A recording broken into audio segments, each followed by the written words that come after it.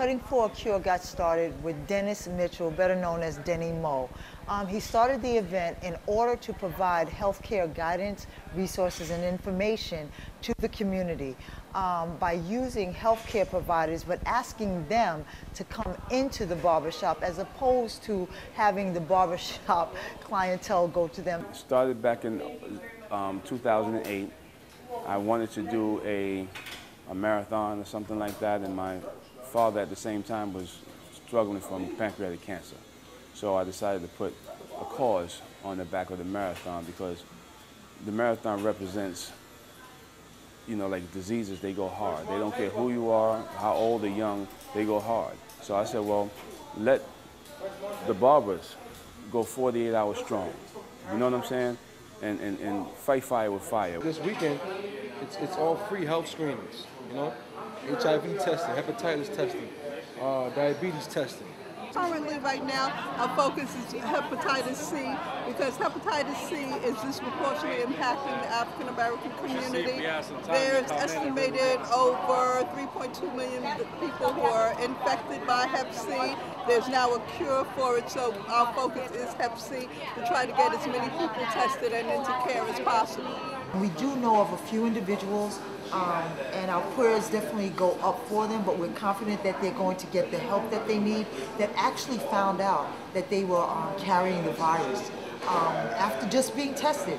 They came, they got tested, and it was news to them. I really felt it was it was important to do this performance because, first of all, I'm from Harlem, Harlem in the building, yes, and um, you know, I think the, the movement is, is important. I think people need to be, you know, need to be aware of what's going on with their health. Um, people that can't, you know, afford services and tests.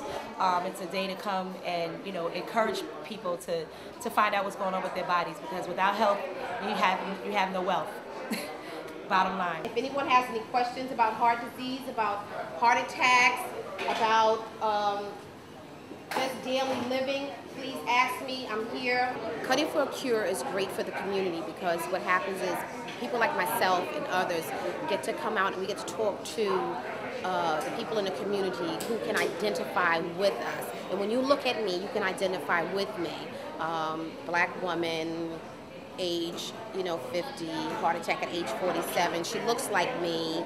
Um, so this can happen to me. So with having Cutting for a Cure, where we are able to go out and we're able to talk to people and spread the word. Just when Charles Rangel walked through the door and it, it, it, just lit up the whole place and only solidified and gave credibility and visibility to what it is we're trying to do. I need a, a trim. A Yeah. Right. Whenever Dennis gives an affair, it's more than hair cutting, it's a community affair. And uh, he has demonstrated how you can run a business and at the same time make a gigantic contribution to to the community. The Cutting Cure um, National, International Cutting Cure Day, we're going to really make that happen. The next time, invite neighboring barbers in their towns and around, and around their towns, and it spreads that way, you know. And that's what we wanted to do. We wanted to spread.